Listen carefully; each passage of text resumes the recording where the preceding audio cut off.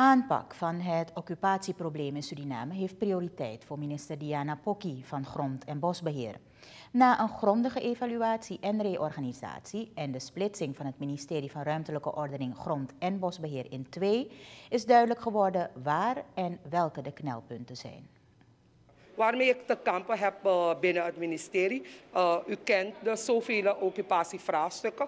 De mensen zijn allemaal bewust dat, een, uh, dat je niet mag occuperen. Het is strafbaar. Ik ben wetgever geweest, dus dat kan niet door de beugel. Dat ga ik niet goed praten als minister. We hebben een, die groep van Leiding 20, ze hebben een petitie aangeboden. Dan gaat het om Leiding 20, Sunny Point blok 1, 2 en 3.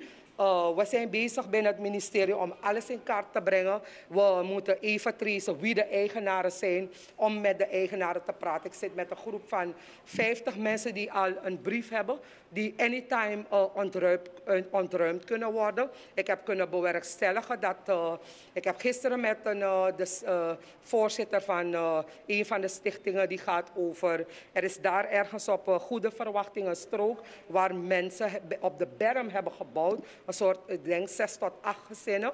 We hebben al de eigenaar zover kunnen krijgen dat ze zegt van nee, we gaan de ontruiming aanhouden. Maar het is niet alleen een vraagstuk, als we praten over occupanten, dan is het niet een vraagstuk van de minister van Grondbeleid en Bosbeheer. Het is een, een uh, regeringsverantwoordelijkheid, dus het zal binnen de raad besproken worden. Wat doen we met de mensen?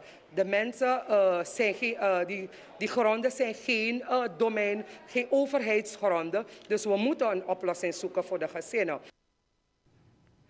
Op verschillende plekken in het land wordt er geoccupeerd. Als voormalige volksvertegenwoordiger kan minister Pokki het niet nalaten om de occupatiewet toe te passen.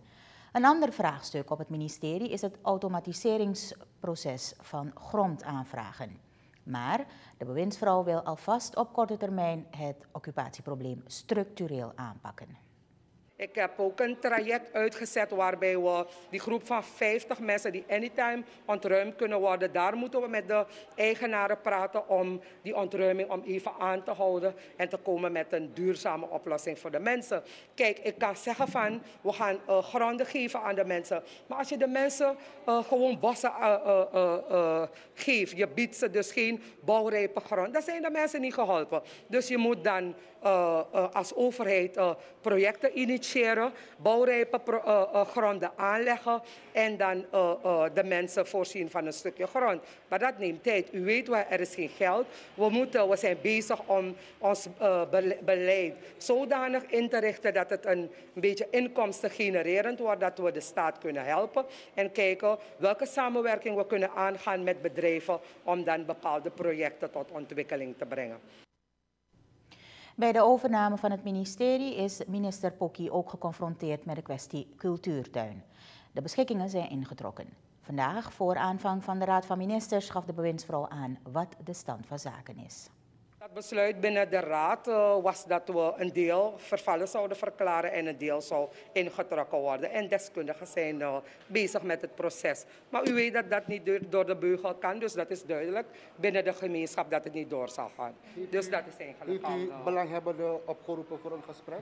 Ja, uh, mensen hebben zich ook een, een, spontaan aangemeld. We praten met de mensen. Maar is bij, bij het geval van de cultuurtuin is er geen sprake van compensatie. Maar als de mensen zeggen dat ze behoefte hebben aan een stuk uh, domeingrond, dan moeten we dan binnen het ministerie gaan kijken hoe we de mensen kunnen accommoderen.